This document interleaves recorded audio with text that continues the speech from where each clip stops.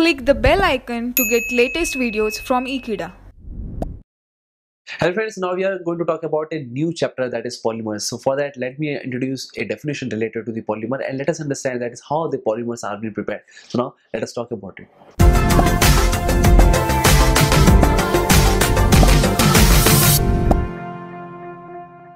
So friends, now we are going to talk about a new chapter that is polymers. So for that, let me make you understand what is the definition of polymer.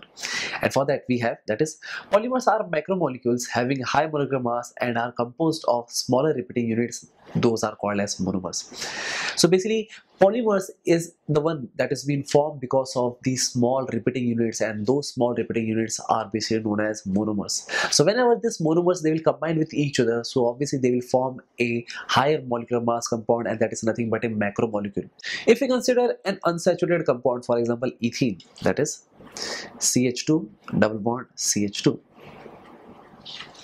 And suppose if we have considering that is n number of moles of ethene. And suppose if this all smaller molecules or if this small ethene which are having the lower mass which are having less molecular mass suppose if they all combine with each other and this process is basically known as polymerization. So polymerization is nothing but it is a process of converting a monomer or n times of monomer to a polymer which is basically a one which is of higher molecular mass and obviously which will have a bigger structure compared to that of the monomer.